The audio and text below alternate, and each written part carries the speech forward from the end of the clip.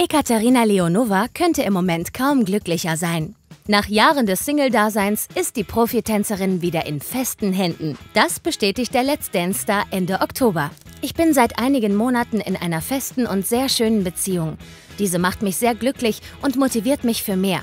Ihren neuen Partner will die 35-Jährige jedoch aus der Öffentlichkeit heraushalten. Das Showbusiness ist überhaupt nicht seins. Er hat mich nicht als Tänzerin kennengelernt. Er hat Let's Dance davor kein einziges Mal gesehen. Doch aktuell hat die Beauty kaum Zeit für ihren Schatz. Der Grund? Sie ist auf großer Let's Dance Deutschland Tour.